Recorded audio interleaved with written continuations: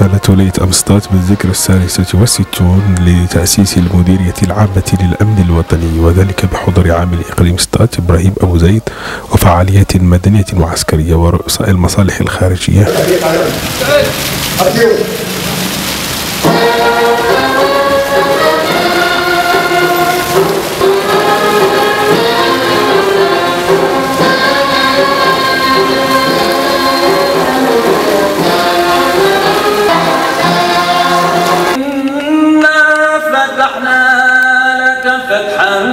مبينا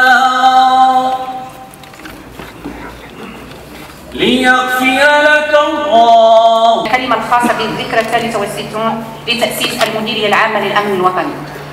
جاء في كلمة ولي أمن سطات عبد المجيد الشواي أن ولاية الأمن وأطرها وموظفيها وعلى رأسهم السيد الوالي وهي تحتفل بهذه الذكرى الخالدة كباقي الولايات الأمنية تغتنمها فرصة لتعبر عن استعدادها الدائم والمستميت لبذل كل جهود وتضحيات خدمة للوطن والمواطنين في سبيل تحقيق الأمن والطمأنينة والحفاظ على النظام العام حبايات أرواح وأعراض وممتلكات رعايا. صاحب الجلالة نصره الله تنفيذا لتعليمات وتوجيهات المديرية العامة للأمن الوطني. الخامس تغمد الله برحمته.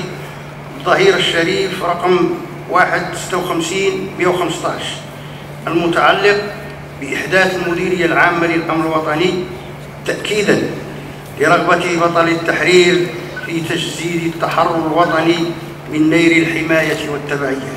الذي حظيت به أسرة الأمن الوطني بنظام أساسي يخص موظفيها. أخذ بعين الاعتبار خصوصيات المهام والمسؤوليات التي يطلع بها أطرها وموظفوها.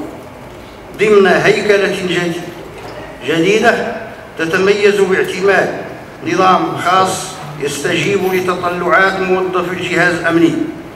إضافة إلى المواطنين ما تخرجوا ما تنساوش تابوناو معنا في fr: la chaîne يوتيوب. وبارتاجيو المحتوى في مواقع التواصل الاجتماعي. وما تنساوش